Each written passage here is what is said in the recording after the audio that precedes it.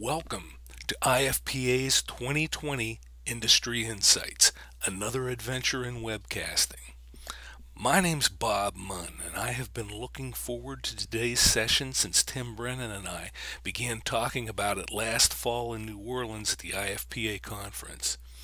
This whole thing started on Bourbon Street outside the famous Door Bar, which may have something to do with why it took so long to actually make it happen. We're going to get to Tim in a quick minute, but first, I'd like to make you aware of IFPA's latest innovation. Last month, we announced the new IFPA app available through the Apple App Store. This makes your iPhone and iPad ground zero for all of your IFPA resources. Not only can you have all the conference details and IFPA breaking news right there on your on your Apple mobile device, but one of those little buttons on that screen will take you to the YouTube recordings of our past 2020 sessions. Yeah, you can access all of 2020's archived content, which is subtle which is a subtle way of saying all of the episodes for which I didn't screw up the recording. But over the past 3 years, we really have come a long way. Now, the first year of this was titled Coffee Breaks and primarily consisted of sales training three times per month. And that, those took place before we really figured out how to record these things. But the first 2020 session back in January 2011 really set the tone. Now, today, you can't go to a publishing conference anywhere anymore and not hear about publishers taking on the role of digital agency. Dan Buendo and Mark Helmer, the fathers of 2020, by the way, were talking about this two and a half years ago, and they had been in it for years before that. Now, this is the first recording we did. We had to break it down into three sections because of YouTube's limitations back then. It's kind of primitive. In fact, it probably deserves to be done over, Dan, Mark, but the, the material is still more relevant than ever before. It's vital. Now, Luann Sorensen and Tina Dentner from Metro Creative Graphics followed that up with a look at the way their service helps blend print and online campaigns for your customers. Now, down in Houma, Louisiana, Brian Rushing supplements his free publication with a spectacular community magazine point of view. And he and his editor Terry Trehune sat down to outline some of some of the ideas that they've had on starting similar publications in your markets.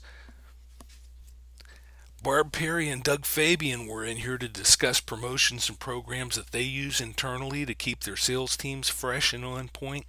Now, this one, if you remember, was produced from a hotel room in Atlanta, which taught us that we don't want to do that anymore. The highlight for me was when the maid came into the room in the middle of it to change the room. Good stuff. Good stuff. Now, this is the topic that really blew up. Huge interest in using the iPad as a sales team tool, and it happened, like so many things do, because of a conversation in a conference. A bunch of us were sitting sitting around a table, and JW kept saying, "Yeah, we do that," and "Yep, we do that too." And one of our most popular 2020 topics was born. If any of you haven't seen this one, there's stuff in there that I'm still using in my training today. Now, Tim Bingaman would be embarrassed to hear me say this, but Anyone who's paying attention knows that he and his people at CVC are one of the community publishing industry's secret weapons. Now, here he talked about publishers who made distribution conversions from mail or carrier to demand distribution. In some ways, it's a cautionary tale and something something everyone should look at before before they consider a transition like that. Now, with this one, 2020 went back to its sales training roots. This guy came in and he talked about the way that salespeople talk about money. I don't remember a whole lot about that session, but as I recall, that guy was really, really good. Justin Jarina came in to show us how Sites One empowered traditional publishers to build websites for their customers. And a number of publishers who adopted this have, have great success stories. And it's, it's one of many examples of the way IFPA's industry vendors are really the research and development arm for our industry. There's so much that we can learn from. Now, website development is a key element of the digital agency, and that brought Dan Buendo back to us again to show us how their agency, Envision Marketing, manages client Facebook presences and gets paid for it our good friend Joe Nicastro came in to show us how he uses technology to do the job of a half dozen salespeople on his seven monthly publications. Joe continues to be one of our industry's most prolific innovators. Barb Perry came back in to talk about the opportunities in selling CADNet ads. There are people, and I'm not going to name names, who have built seven figure businesses based on hooking publishing association programs up with the right advertisers. I know it drives Barb crazy to think of all the money that we're leaving on the table out there. Our buddy J.W. Owens was back for a triumphant return after his gangbusters presentation on the iPad. This one focused on apps that salespeople use on all their mobile devices to enhance productivity. Again, well worth the time you'd invest to watch it. And speaking of vendors performing the research and development function for our industry, Ken Hubert is a, is a publisher in suburban Milwaukee who's on the leading edge of mobile advertising solutions. Ken's approach to, to publishing is truly innovative, one you should learn more about, and you can you can pick that up on your uh, on your uh, IFPA app, which Ken was instrumental, I might add, in helping to develop for the association, and we thank him for that. Lee Little from Bar Z Adventures was in here a couple of months ago to explain his approach to building custom apps. Now, I just saw one that he did for, for JW and Glenn Fetzner down in Florida, and you take a look yourself. Use your own judgment, but I really think they've taken this to another level. Well worth watching. And finally, I saved this one for last because it has by far been our most popular session. Joe Mathis' Joe Mathis's innovative approach to auto dealer advertising really has to be seen. And from the, the viewing numbers, you probably have. But Joe's approach is a textbook example of what an innovative publisher can do for his customers when, when, he's, when he's pushed to do it. And, and Joe's just done some great work for, for his folks. Now, as I said before, most of these sessions are available through our YouTube channel or links from the IFPA.com website or directly through the, uh, the new IFPA app. Just go to the Apple App Store, search on IFPA, take your free download. Now, instead of talking about past sessions, we have a live one with us right now. Tim Brennan from Multi-Ad is no stranger to any of us who attend community publishing conferences. For years, he's been the guy focused on making your customers the local champions for national brands in your markets. And as I said before, this ses session has been a long time coming. I'm happy to have him join our group this morning. Tim, welcome. Thank you, Bob. Good to be here. Great. Yeah, volume's a little low there, buddy.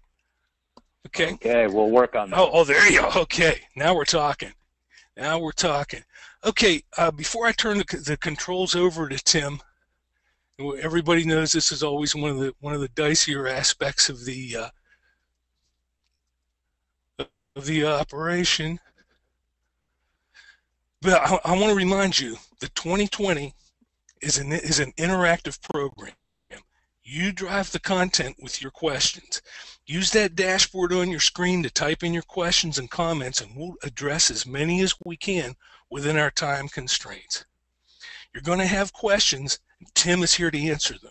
If you don't get your question addressed, it's going to because you were it's going to be because you were too shy to ask it. So, so get me your questions. We'll do everything we can to get them answered. You're looking pretty good over there, Tim. Excellent. Good. Uh, just technology works.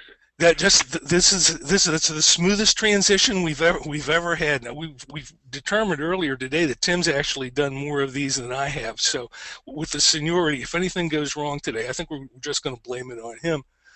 Uh, yes, yesterday I was exchanging emails with a friend of mine, and, and her question was whether today's content was better suited for managers or salespeople. And my answer to that was that the most vital key to a successful co-op advertising initiative is an energized sales force. If the sales team isn't into it, all these opportunities, all these free ad dollars that Tim and his people put out there for us go by the boards. It's the the uh, the involvement of the sales teams absolutely vital. Now, Tim, when you get right down to it, the essence of successful co-op advertising is really a partnership, isn't it?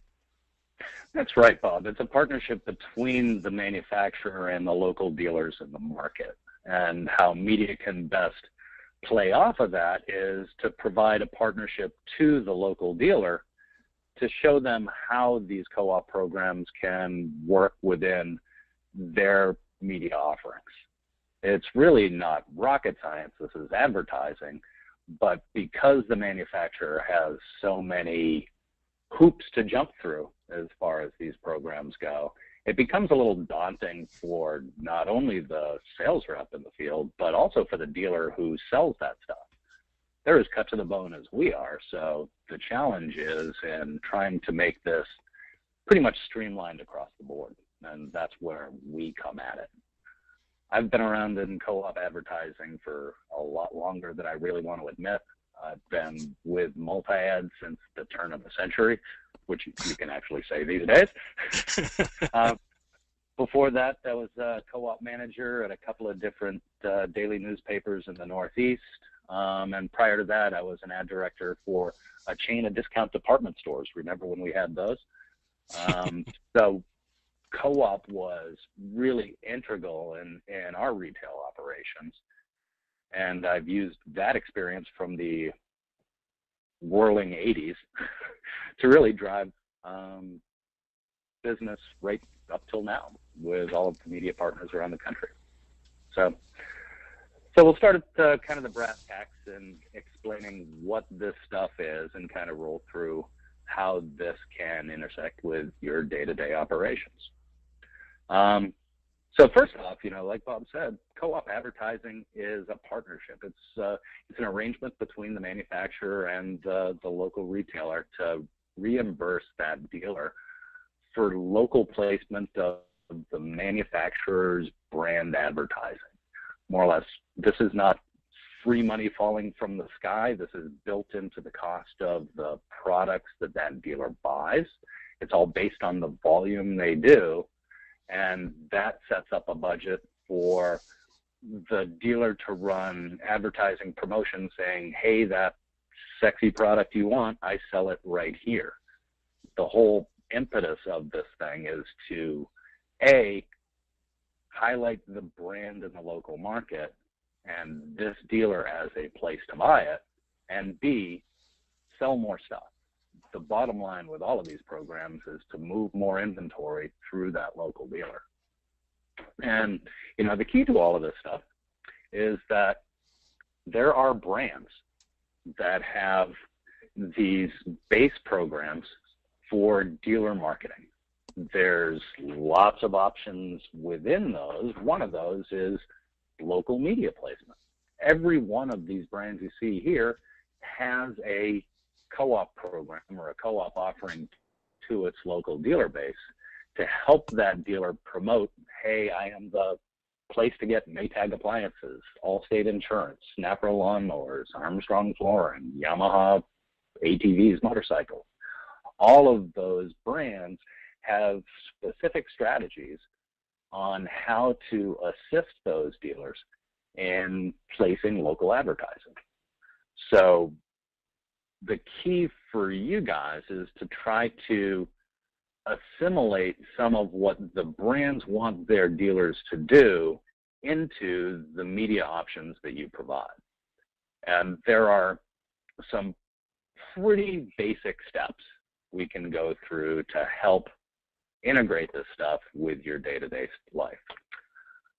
First off, provide co-op research to dealers what I mean by that is anytime you see a local dealer with a brand name product, you see a sign on the door, a banner in the window, a display on the floor, find the brand name co-op program. You can Google it, um, or you can come to a database like ours to get the full schematic of what that co-op program is never assume that the dealer is completely boned up on this. as a informed sales rep, bring them a copy of the co-op program just in a hey, just so you know that we know that you know there's a co-op program for the stuff you sell, and hey, I think I can help you with it. And that type of approach can go a long way.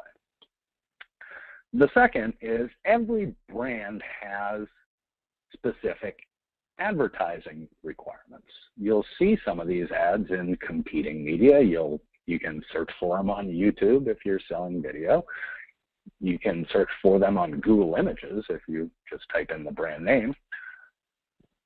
With our database, we collect those from manufacturers. We get their up-to-date sales promotions. We get ongoing newspaper and print promotions from these from these manufacturers as a impetus to help our clients, the media, help their clients, the dealers, do this stuff right.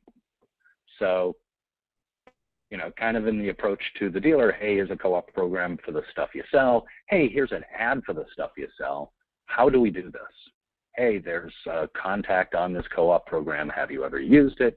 Should we call them and find out what you're eligible for and how to do it?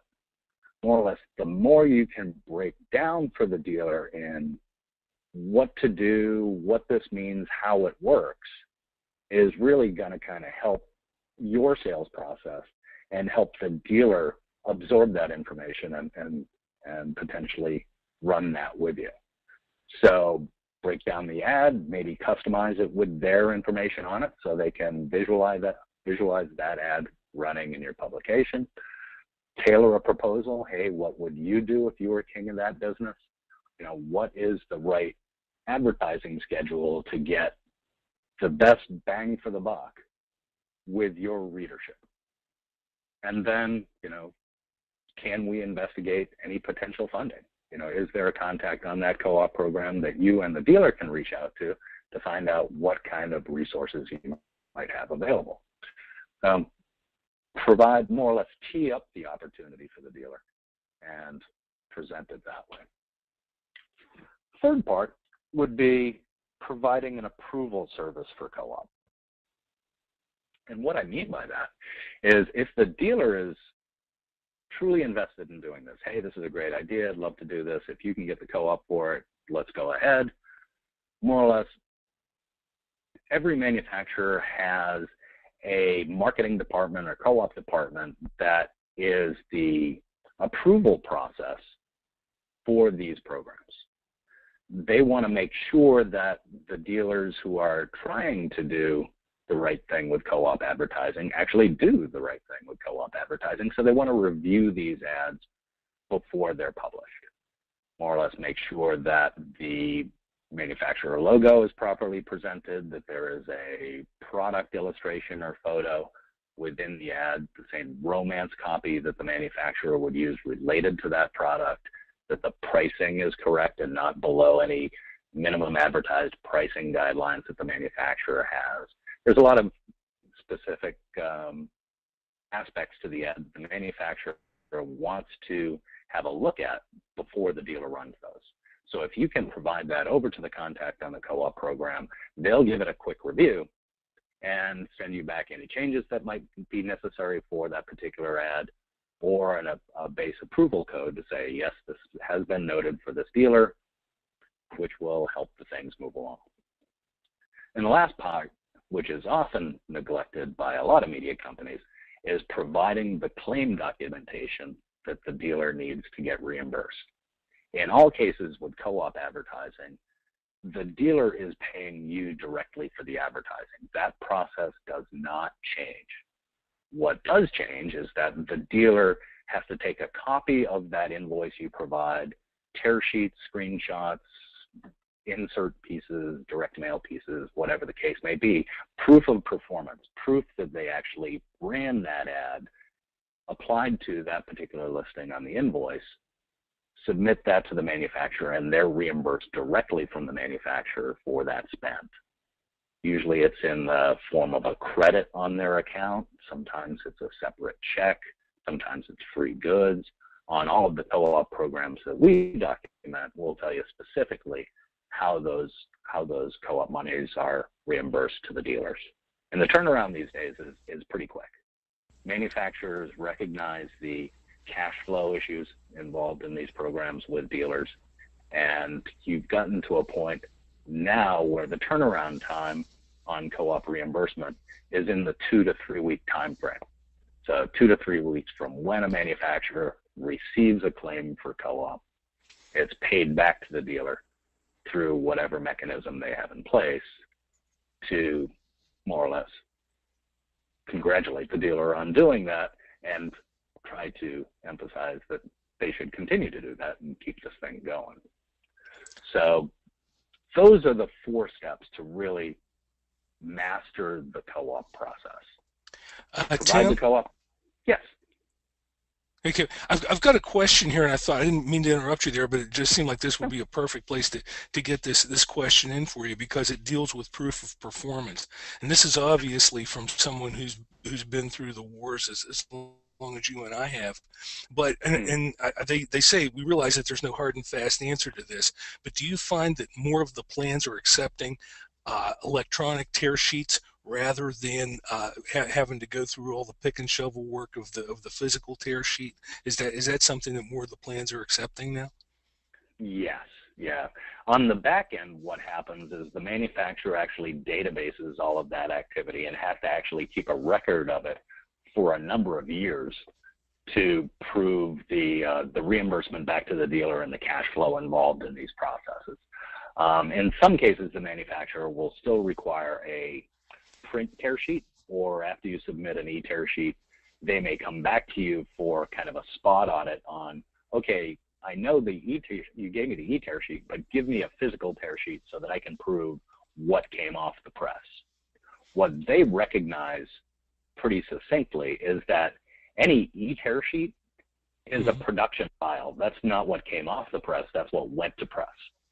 Mm-hmm. In some of the cases where there are specific color charges or uh, programs like Verizon Wireless is very um, particular with this, they want to see specifically what came off the press. Not all the time, but in a spot audit case to prove yeah. that the media actually did fulfill this production file as a, a live tear sheet. So okay. kind of case by case. In the in, uh, I have another question coming in, and by the way, keep keep those questions coming. Uh, the, uh, the, the question here is, and, and I think you may answer this further down the line, but I, I wanted to to make sure this this question got addressed. If a dealer you were talking before about taking the initiative to to introduce the, the merchant to his own co-op programs in many cases. But if the dealer has no idea about co-op available, where can we search to find details about their particular plans? Got any Got ideas it. on that? Um, yeah, any co-op program that we database is available to all dealers of the brand nationwide there are caveats to that. If a dealer buys through a distributor and not directly from the manufacturer, the distributor controls the co-op monies and they have the option of passing them along to their dealer base. The best way for a dealer to find out specifically what's available to them is to reach out to the guy they buy the stuff from. Every manufacturer has a rep in the field um, if not, you know, the distributor has a rep in the field that will call on these dealers to, you know, buy the stuff. You know, they are the intersection for the product purchase, the, you know, the entire relationship with the manufacturer. You know, they're, you know, they're responsible for product shipment, for finance, for delivery, for you know any warranty claims along those lines. So these guys are busy on a lot of aspects of the manufacturer's relationship with the dealer. Co-op advertising is part of that. Why does co-op not often get communicated to the dealer? Because that rep has a territory that's likely two or three states with you know three to four hundred active accounts when they finally get in front of the customer they've got a lot of things to review so co-op if the dealer hasn't brought it up in the past may not be high on the priority list of things we've got to review today so always go to that guy he'll know what's available and if not he'll know who the dealer has to go through to get that answer Got it. Long answer to a short question. um, so the four steps are really kind of key to the process. One, showing the dealer the co-op program and some sort of, you know, embedded knowledge that you know what you're doing with it. You know, you don't have to be, you know, totally boned up on the nuances between a fixed rate and an accrual-based co-op program. You should know that there is a marketing program, there are rules and requirements to it, and there's somebody you can talk to to describe what those are for you and for the dealer. Provide the ad materials. You know, all manufacturers, most manufacturers will have pre-made materials for you to work from for that dealer. Integrate those into the dealer's advertising program and show them how that can help expand their advertising based on the increased budget from co-op and in some cases, clean up their advertising a little bit, present a prettier picture in their advertising to get people to focus on the stuff they sell. Approve that stuff through the manufacturer, you know, make that connection with the folks who run the plan, and then follow that up with all of the documentation. Some of this stuff can be automated, you know, on the documentation side, if you can flag co-op and order entry or something along those lines so that it spits out a separate invoice at the end of the schedule, those things can be maximized. Um, but you know, more or less looking at those four steps as a whole for any dealer that might have brand name products in your marketplace is a worthy exercise to go through. So from there, we kind of split off into, you know, what does this apply to? You know, obviously print. You know, co-op for print and newspapers has been around literally since like 1903. First documented co-op program was according to some sources, Warner Lingerie paying local department stores to promote its new line of corsets back in 1903. That supposedly is the first physical co-op program. And I remember has, that. Those ads were hot. I knew you would say that. And it, it's expanded from there. You know, Coke has a very lucrative program with dealers. Um, unless you're buying a million dollars from Coke, you know it's a it's not a good one for us to go after. Um, but they have had a long-standing uh, program as far as trade promotion goes, which is pretty well documented. Um, all of these programs now obviously move into different areas. They pay for online now, they pay for mobile in some cases, they pay for mail and inserts. So there's lots of opportunities for broaching out different programs to your dealer base. Don't let them think that this is just a print thing they have to run with you because some dealers don't want to focus their entire budget there. There are lots of ways that you can expand this to other media to make this more fully fledged into all of the media options that you guys provide. So kind of playing this thing through, you know, what you have to recognize is that co-op is many things to many different people. These programs are complicated, but it's not because they don't want the dealers to use these co-op monies that it's complicated. It's complicated because there's lots of cooks in the soup. There's sales involved in this process because those guys intersect with all of the local dealers. There's marketing involved in the process because, hey, we created this brand, spent billions of dollars making it. We don't want local dealers to destroy it. We have, um, you know, accounting involved in this. They have to pay back these dealers through a mechanism. So somebody wants a good eyeball on that. You got legal involved in this because what if a dealer does this? What if a dealer does that? So all of these programs have a pretty tight scrutiny from the top level and how these work. And the rules and regulations are always kind of revolving around that. These programs are also known by different terms. So you may call into a manufacturer and say, hey, I'm calling about the co-op program, and they'll say, what? Yeah, it might be known as channel marketing, it might be known as sales promotion allocations, it might be known as advertising allowances or market development funding. A lot of different terminology rolls around in this thing. And it all falls under one group terminology called trade promotion, which involves a lot of different things co-op is just one aspect of trade promotion, which allocates for local advertising. But trade promotion also allows for markdown of existing products so that the sales rep can clear that inventory and get the dealer to buy the new stuff. You'll recognize that with, you know, Macy's running a 25% off Clinique sale. Macy's is not taking any less money for the product on the shelf. Clinique is actually paying the 25% difference in that sale item to Macy's in order to, in order to run that promotion and clear the inventory for the new stuff that's set to come down. So the overall process in this thing is this little recycling triangle here. More or less, it's you know the manufacturer distributor providing an allowance down to the dealer to create advertising to create demand for that product. You know the dealer runs that ad um, saying, "Hey, come on down today and buy you know brand X widgets for 25% off." Customer comes in the door with that ad, buys the brand widgets which necessitates the dealer going back to the manufacturer, ordering more product, running another ad, et cetera, et cetera, et cetera. This is all about moving inventory and keeping that brand fresh within the local dealer. Um, hey, uh, Tim. Yes. Tim, okay, I, I, got a, got a note here. Uh, a couple of folks are noticing that your your voice is going higher and lower. I don't know if that has to do with distance from the mic or, or, or how you're doing it. I don't know if, if you're if you're walking around or, or whatever, but it, if you if you get if your distance from the mic is varying, it's it's showing up on this on, on this end. Okay. So just just a note there. I, I, it, it, could, as you and I discussed earlier, the, the, sound quality could vary with a with a lot of different technical shortcomings of of webinars. But if it's if it's the distance from the mic, I just wanted to make you aware of it that it's showing up here. Cool, got it. Yeah. okay, thanks, buddy. More cognizant there.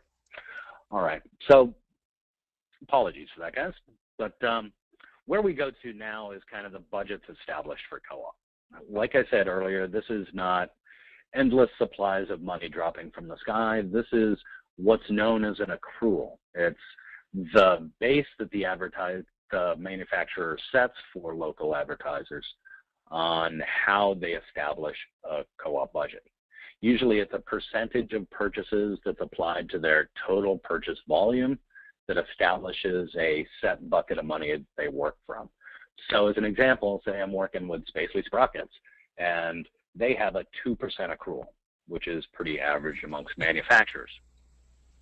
If you buy $100,000 worth of sprockets from Spacely, more or less that's applied to the manufacturer's co-op percentage so that you know, your accrual balance is $2,000 or 2% of your $100,000 purchase. What you should probably get pretty good at is basic math when it comes to these co-op programs. You know, one of the easiest ways I, I use to determine you know, broadly what my dealers had available when I was on the media side was to have them guesstimate how much business they've done with the brand over the time frame that the manufacturer said was their accrual period. You know, I said, okay, so about how much business did you do last year with Spacely Sprockets? Was it ten dollars? Was it ten million dollars? About what is that number? Oh, it's fifty thousand dollars. Well, two percent of fifty thousand dollars is one thousand dollars. That should be about how much co-op money you've got hey, on the co-op program, here's somebody we can call and verify that. Or, you know, I can take it back to the office and run with it there. Make it simple and always make it sound like you know basically what you're doing. That's the key in some of these things. So an accrual is just a percentage of the dealer's business with the manufacturer to set that co-op budget. Manufacturer also has uh, participation rate, which is essentially how much of the ad cost is the manufacturer going to reimburse the dealer for up to whatever accrual budget they have. So what you find is the average manufacturer will have a 50% participation rate, which means of that $2,000 in Spacely Sprocket co-op money I've got, I need to run $4,000 in advertising to get that all back. $4,000 at 50% is $2,000, which is my accrual limit. I have to create a budget or an advertising platform equal to $4,000 in order to claim all of my co-op money back. Of course, you know, those ads have to meet the guidelines. They have to go through the, the process of being approved with the manufacturer and then claimed from the manufacturer, but that's the, the impetus for claiming my co-op money back. And there's timing around all of this stuff. It's not an endless loop ordinarily with most manufacturers. They'll have an accrual period. Hey, here's the time frame that we measure your purchases. So this could be any of a number of different things. One of the things that screws dealers and media up with co-op programs is that everyone is different. Benjamin Moore paints is much different than Pittsburgh paints. Allstate insurance is a lot different than State Farm insurance each one has the different nuances that the manufacturer brand has put in place to try to stimulate these programs, and you've got to pay attention to them. Those are all stated, clearly on our co-op programs, and I would assume pretty clearly on what the manufacturer gives the dealer as well. Manufacturer also has a performance period, which is the time frame that the co-op money must be spent this could be different than the accrual period. Benjamin Moore has their co-op program based on last year's purchases, as does Ace Hardware, as does True Value Hardware. They tally up the entire calendar year purchase from that dealer in the beginning of the following year, multiply it by the co-op percentage, the accrual percentage, and then pass that information down to the dealer. The performance period is the calendar year, current year these dates are part of the challenge with local dealers, trying to keep track of what's available to them when and when they have to use it. Some programs expire mid-year. Not all co-op programs expire at the end of December, though many do. So it's something that has to be recognized and pretty much planned for in order to make this whole thing come together. So what completely messes this thing up further is that there are different types of co-op programs. Not all co-op is created the same. You know, accruals may vary, percentage, participation percentages might vary, um, but there are completely different structures to co-op programs as well. You know, the ones we tend to focus on, the brands I showed you in the beginning, those all have formal co-op programs brands like these guys, like Oreck Vacuums and Pandora and Subaru Parts and Service, and even a company called Hanky Panky. They have set accrual balances, they have set reimbursement structures, they have specific creative media guidelines in order for the dealer to promote local brands. And speaking of formal, Hickey Freeman has a formal co-op program for their formal suits. It's 3% accrual and 50% reimbursement. Very standard stuff. But then you move on to what are known as specially arranged co-op programs. These are all based on essentially a manufacturer sales rep or distributor's discretionary budget where there is no preset accrual base for a dealer to work from, but what the manufacturer does is allow for the dealer to come to them with a specific advertising plan hey, here's my plan to sell X more, which is negotiated based on the strength of the, the proposal itself and the potential to sell more stuff. If you're a dealer that generally does $50,000 in business annually and you come to them with a co-op with a advertising program that says, hey, I'm going to do this during peak season. I'm going to run these ads this this network buy, et cetera, et cetera. It's going to cost me $2,000, but I think I can sell $10,000 more. The manufacturer will take it under advisement and, and if it makes sense for that particular dealer and is the right time frame with a budget that has not already been allocated to other folks, they could potentially pay for it. So you see brands like this, like Hill Science Diet pet food, like AC Delco, um, auto accessories, Panasonic appliances, Goodman heating and heating, back, uh, ventilation, air conditioning stuff. These brands work based on their local manufacturer sales reps connecting with local dealers to try to generate new business based on exciting sales promotions, new media promotions with those dealers, and different ways of promoting the brand in the local marketplace.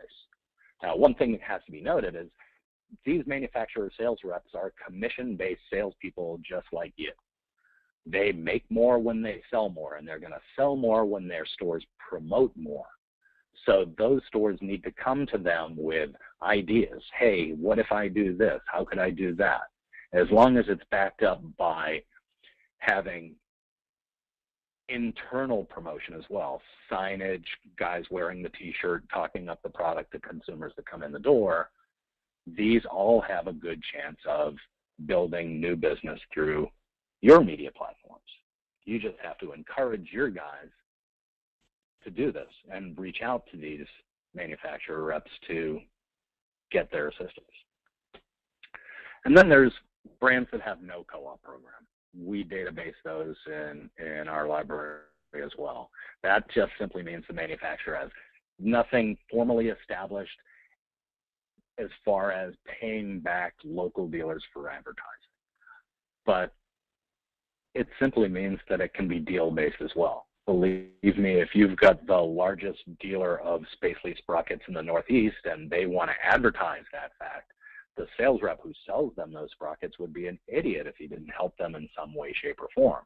And it doesn't need to be cash money reimbursement for that dealer. The manufacturer has a lot of different ways that they can pay back local dealers for this promotion. It could be free goods, it could be you know special dating on their invoicing, it might be free shipping or you know any of a number of different ways that the manufacturer could incentivize the dealer to do this stuff. And they've got promotional goods back at the office as well. How could they help this dealer or encourage this dealer to be more promotional and you know stay out there with hey I've got the biggest supply of Spacely sprockets on the planet you know, that's going to encourage people to come in and buy more, which, you know, that sales rep for the manufacturer will earn more based on the increased volume. You know, think about the partnerships that businesses work with on a daily basis. You know, realtors and mortgage lenders is a good example. Two different businesses that play well together. Co-op, in essence, is just a co-funded advertising opportunity. So any two related businesses could potentially promote together, and how can you encourage that? You know, think of paint stores with painting contractors. Think of building supply companies with you know general contractors and specific contractors for home improvement goods. How can you tie those guys together around a brand to help both of those businesses succeed. You know, paint store sells Benjamin Moore paint. Painter uses only gray paint like Benjamin Moore to paint your house. Now, what kind of relationships can you create there where nothing really might be in existence right now to make it work?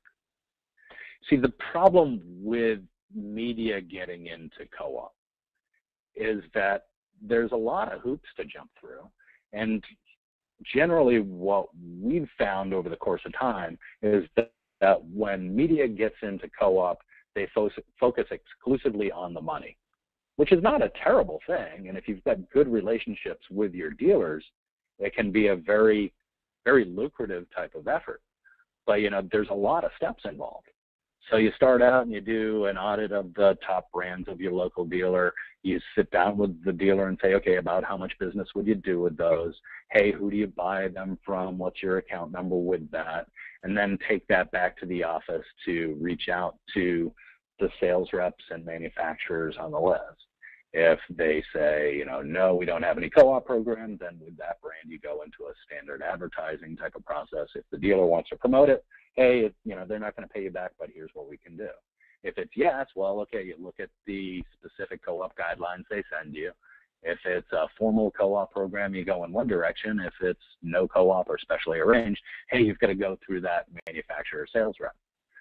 How much business do they do with that brand? Is it enough to warrant doing anything? There, I would put a benchmark at about $20,000 a year. That's the minimum of something that I would work from because 2% of $20,000 is about $400. You could do something with that. Anything below that, yeah, not as much. So does that warrant any assistance? Okay, yes. Well, okay, develop a brand proposal along the same lines of, hey, if it's a formal co-op program, what's available to them and kind of work out the math based on that. You work with the manufacturer sales rep to get the appropriate materials, the appropriate dollar volume, go through, tally it all up for what kind of advertising budget you want to run, and then develop ads that meet guidelines, get approval for those, run the campaign, and then produce the documentation for it. A lot of different steps, and unless you have a really good relationship with the business you're working from, this could be a six to eight week process to get anything going lot of time frame for what may not be a lot of effort, um, a lot of uh, return on that. That said, there's a ton of money out there. Co-op programs, it's estimated, tally about $100 billion in advertising potential every year. Now, just based on the wholesale volume of all of the products generated through the United States and the co-op allocations based on those, that's about $100 billion a year. And of that, it's estimated about $11 billion of that goes unused. Just because the programs are complicated, the dealers are cut back to the bare bone, they don't have time to look into all of the variations involved in the co-op program. $11 billion just kind of slips away every year. So how much does your market flush away with that? Think of the the dealers of brand name stuff in your market. Your local State Farm insurance guy, your local Ace hardware store, your local Andersen window contractor. How much of that goes away? And, you know, if plumbing is where you're going to go, B&K Mueller does offer 100% co-op reimbursement on their plumbing equipment ads, so you can at least fix your toilet. Um, there are, you know, a lot of different variations on co-op to work from. But the bottom line is most brands do business with local dealers. And those dealers need to understand that those brands have programs there to help them. So what brands do your stores do business with? Where do they buy those products? Is it a local sales rep who shows up every month or so? Is it a distributor that they call into? Is it a telemarketer they work with with the manufacturer in order to get their order across? How does that process work?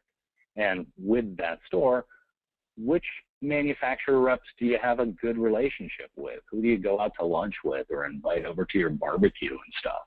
You know, who do you really enjoy doing business with? Because those reps will always lean towards the folks that they like and they'll get the best opportunities with stuff. So even if you're working from a formal co-op program and, you, and you've got everything buttoned down as far as how the co-op works, it's always a good idea to keep those reps looped into the process so that they know that the advertising is going to happen and can provide the dealer with any additional inventory they might need, sell more stuff in order to cover the ad. Um, but if it's a good ad program and it's created some business, they might find additional marketing funding and resources to help that dealer do it more. Uh, and, and if you're working with a vitamin store, Nature's Bounty Vitamins does offer a specially arranged co-op program that those stores can work through their sales rep to get funding. Finding co-op is not a problem you, dealer locators for store uh, for manufacturer brands can show you where to get that particular product in the marketplace. That's what we focus on from our co-op database. But just walking into stores and looking at signage and displays, you know, that's going to tell you right off the bat who they should have co-op money with. You look at these displays, write them down, go back to a database or Google the brand, and you may find the co-op program related to those. All of these guys have specific advertising programs related to local brand promotion.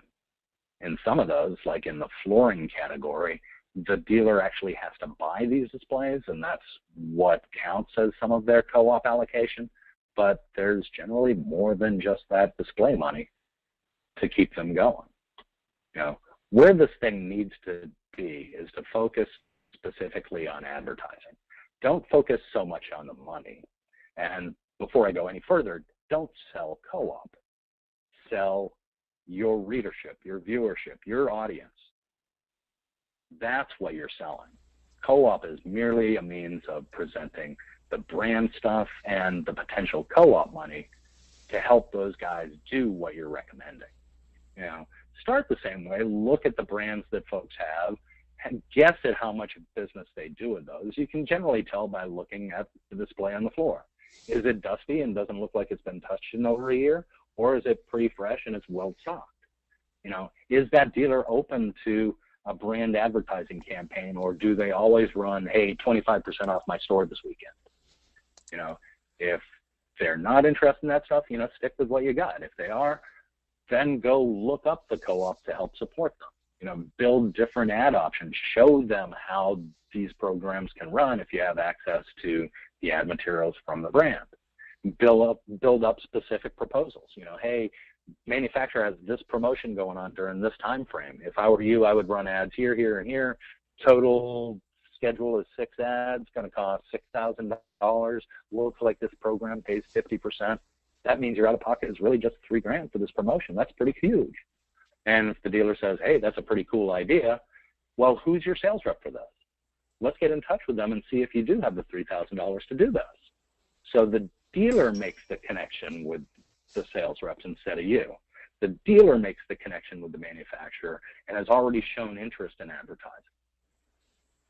Together, you contact the manufacturer, confirm what co-op money it is you know, you work up your ad campaign from that, and any ads that you make up, you make sure that you show them to the contact with the manufacturer to make sure that they're going to get reimbursed. When it's all said and done, hey, we've got it all buttoned together, confirm that with the dealer, and run with it. Focus on advertising itself. That's you know, Tim, that's a that's a really good point, and a lot of a lot of people miss that. The, the, the selling we tend to think of the selling point as being the fact that the, that our merchant is leaving all this money laying on the table, but he really doesn't see the value of it unless unless we address the original hot buttons of the sale something that he has to gain from it. What's in it for him? What he what he can actually advertise and generate new revenue from. That's a that's a great that's a great point about fo- focusing on the advertising rather than the money.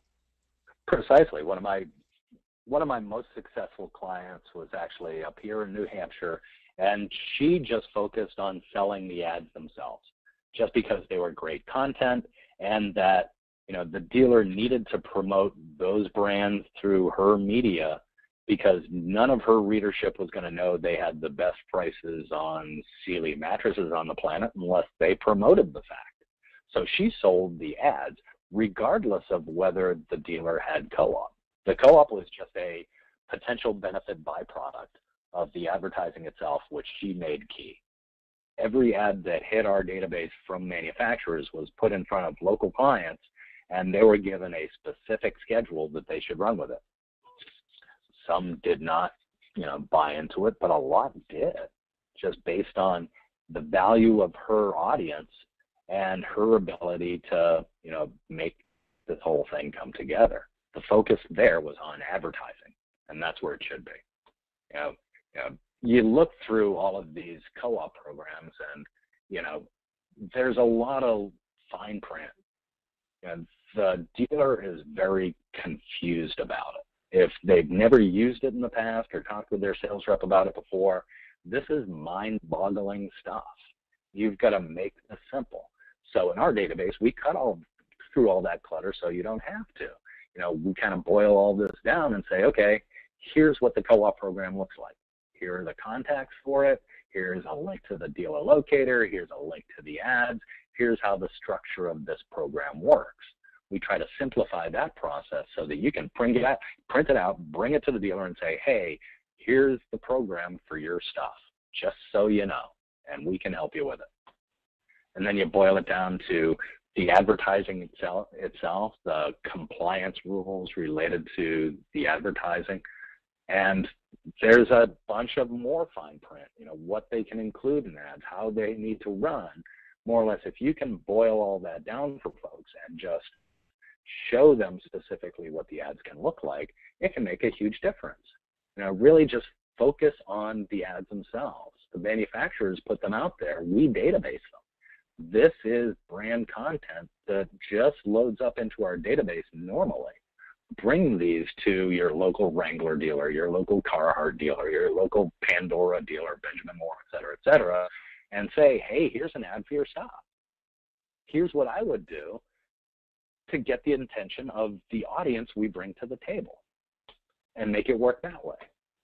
I mean, print, you know, all of this stuff has been around for a billion years. All of these ads have a base in co-op. You've seen them before. Start to sell these now and look at inserts. You know, there's another opportunity for you. You know, have you seen a, a an optician run an ad with you? They all have co-op. Marchon is a pretty prevalent brand across the United States. You know, it's the frames. And you know, this guy got half of the back page of this insert covered just by doing this. And inserts, you know, you use standard documentation from newspapers to do that. You don't need anything highfalutin. You look at direct mail, it's kind of the same thing.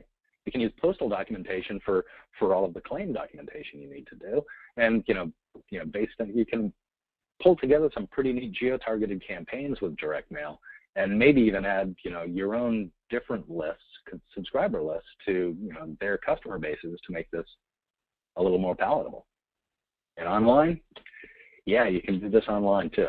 You know manufacturers are pushing these dealers more and more to this you know and there's a lot of pretty relevant content out there. You know that one little banner you saw there was for Amarr Garage Doors. This other one is for Hyundai Automotive. Always make sure that you're giving equal view to both the brand and the local dealer with these structures. And on a different note, you know, instead of linking directly to the dealer's website, maybe focus on a landing page that might give them more place to put it, information about the offer they have. Um, but kind of roll with that. You know, the URL type of documentation is what the manufacturer is going to require to get it done. And mobile, so Tim, a, a lot of our, our, people who are taking on new products, like working, like uh, building websites for their customers and, and, and having landing pages on their community community directories, those those initiatives can be funded through co-op advertising too, right? Oh, absolutely. And we have content related to this. Um, you know, specific banners that the manufacturer have pushed down to all dealers to show exactly how to do this stuff. Uh, specific, you know, criteria as far as how to um, provide an SEM or SEO campaign that will be funded by the brand itself to help folks know when they Google appliances in New Jersey where to go and find Whirlpool appliances at my place in Bridgewater, New Jersey. And there are all structures around this stuff with online, they require a little more documentation. They need a screenshot of what the actual display was, a URL report of, you know, okay, how many click-throughs did I get on that? Um, and I hear a lot of beeps from manufacturers on the links directly to a dealer's website without any specific content drive. But, you know, a landing page to to be kind of a middle ground between there and the website could be a good strategy. It could be as simple as the print ad they're running with you. You just need more space to describe the offer and why consumers should buy it from them today. Now, really kind of make that process as simple as possible and read through what the manufacturer requires from all of that stuff. Um, mobile, I think Kenny Hubert is the only one who knows how this stuff works, but you know, this is really still in its infancy. you know, there's not a lot of space that you can use to devote to co-branding on mobile. Uh, I display here uh, uh, auto service place with Valvoline motor oil that could be funded by Valvoline, although I haven't gone through it. There are some programs, mostly automotive related, that do fund mobile campaigns. I have seen things done with some of the camera brands as well. Um, but it's always very specially arranged. It's always through a lot of scrutiny from the manufacturer, and they want to really gauge results as compared to what the spend was. So it's not the easiest stuff to do, but it can be done. Really, what you got to do is put these campaigns together into proposals put them across to the dealers. And instead of, you know, hey, your standard print campaign and everybody thinks co-op is just print, okay, going to run the ads on these dates. Here's the ad. Doesn't it look cool? Um, add online to it. Okay, now we're going to run this print campaign, and in between on our website, we're going to run this banner advertising related to it that's going to go to a landing page with this particular ad, which will then shove over to your website. Show them how this stuff works and that's going to make a difference.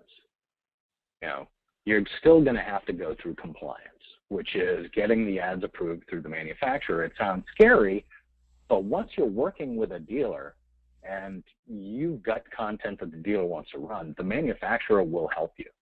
They're there to help the dealer advertise. You don't prospect through these guys, but once you're involved with a dealer, they will help you through the process. They have sometimes have online portals to put this stuff through. Some of them you can email that across to a specific address and somebody will review that. Turnaround time you should allow is about 48 hours, but once the manufacturer has reviewed it, it's been databased on their side, so payment is expedited on the co-op reimbursement, and the manufacturer is pretty much embedded in, hey, you are helping this dealer now.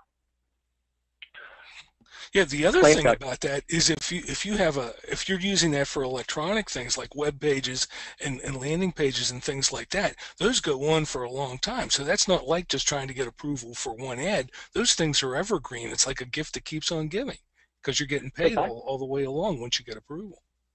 Precisely. And you know, once you've developed that relationship with the manufacturer as helping this dealer, there may be other dealers in the market that manufacturer needs to help as well and they may help you with them. They might actually ping you to say, "Hey, have you talked to this guy? He needs help too."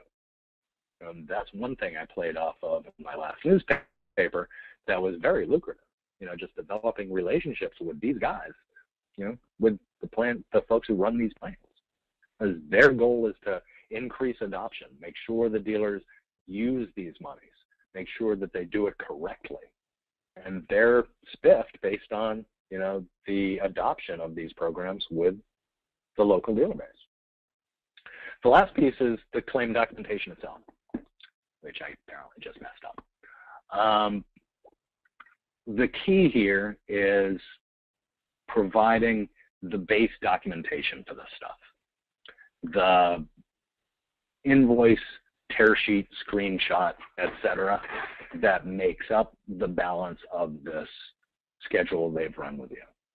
With ReCas, it gives you kind of a claim documentation uh, template that you can work from that boils everything down and counts to the manufacturer as a claim form from the dealer. What the dealer needs to submit is, at the very least, an invoice from you on the schedule they ran, proof of performance, the tear sheets, screenshots, seed shot, you know, all of that stuff, that support the line items on the invoice and a co-op claim, a detail of, hey, I spent X amount of money promoting the brand. Here's the line item stuff related to what I did. You owe me $1,500 based on my $3,000 schedule. With ReCas, we boil down, okay, where you send that to, who the dealer was, all of the date and cost information related to it, and then the bottom line reimbursement for the dealer. But all you really need to provide is you know the basic proof of performance stuff, the tear sheets electronically or in print, and validate with the manufacturer whether they'll take them electronically. Most will, um, and the documentation, the the invoice, any URL documentation for anything online, all of that stuff is noted on the co-op program, uh, either directly from the manufacturer or through us. We tell you what they need and have the dealer submit it so that they get reimbursed. Um, we try to make this simple.